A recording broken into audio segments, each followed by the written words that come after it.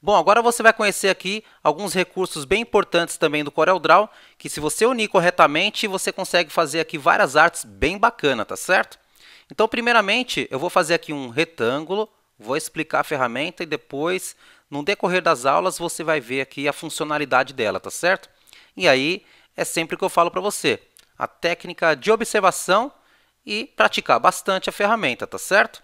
Então, eu fiz um retângulo aqui de qualquer tamanho, beleza?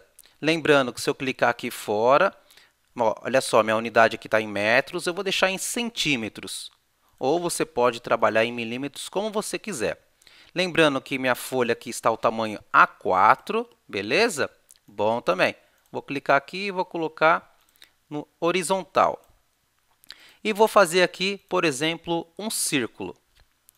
Já falei até algumas aulas isso aqui. Segura a tecla Ctrl mas agora vou focar bastante nela. E eu vou colocar aqui e também vou duplicar, tá certo? Pressionando mais no teclado e vou trazer para cá. Ótimo! Coloquei aqui em qualquer parte aqui desse retângulo ou quadrado que eu criei, tá certo? Bom também. Então, eu vou selecionar os dois. E aí, você tem aqui nas propriedades da ferramenta, olha só, quando você seleciona, você tem aqui as propriedades a primeira opção é a ferramenta soldar. Você vai combinar os objetos e ele vai virar um só. Olha só que bacana. Você acaba criando um label, tá certo? Bom também. E aí você pode fazer muita coisa, cara. Eu posso fazer, por exemplo, um círculo aqui perfeito. E aí, como eu desenho muito bem, ninguém desenha melhor que eu, o que, que eu vou fazer? Eu vou fazer o seguinte, eu vou pressionar mais no teclado e vou trazer para cá segurando a tecla Ctrl. Quando você segura a tecla Ctrl, fica na mesma linha, né? Então, vou selecionar e vou vir aqui, ó, seleciona todos eles e vou novamente em soldar. E aí eu faço aqui, ó, um olhinho, duplica ele pressionando mais no teclado. E aí eu vou fazer aqui um, uma elipse também, aqui mais ou menos aqui assim. E aí eu faço aqui também novamente. Olha só como eu desenho muito bem. Fala a verdade. O cara manja dos desenhos, né? Ai, meu Deus.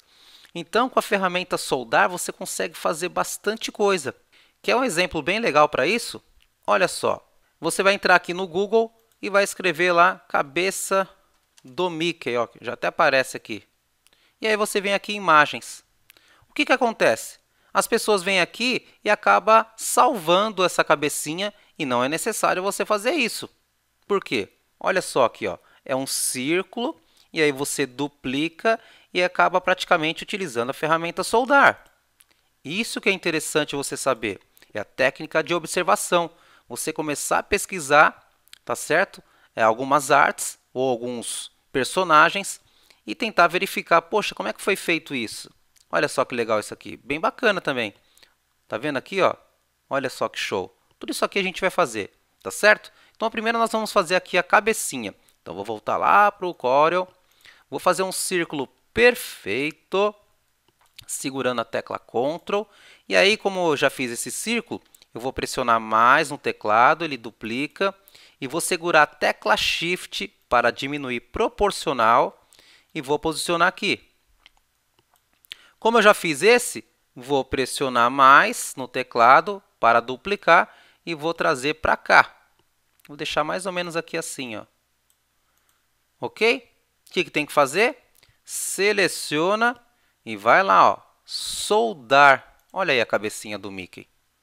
E aí você pinta de preto. E aí, se você quiser, você pode clicar mais uma vez. Ok? E aí você pode inclinar, como tem um inclinadinho lá também, ó. Tem alguns inclinadinhos aqui.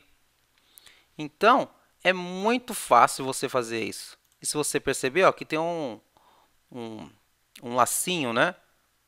Bem fácil fazer isso aqui, ó. A gente faz aqui também no curso presencial, tá certo? A cliente queria fazer desse jeito aqui. Vou mostrar para vocês como é que faz já na próxima aula. Beleza?